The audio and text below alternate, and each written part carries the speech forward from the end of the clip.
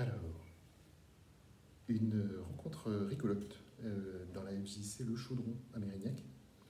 Euh, en cherchant, en rentrant euh, dans la maison des associations, Daniel, l'ancien gardien du Krakatoa, une salle, une SMAC, ce qu'on appelle, m'a dit bah, écoute, tu devrais quand même passer voir la MJC en face qui s'appelle Le Chaudron. Et dans Le Chaudron, bonne nouvelle, dans cette maison de quartier, il y a un piano.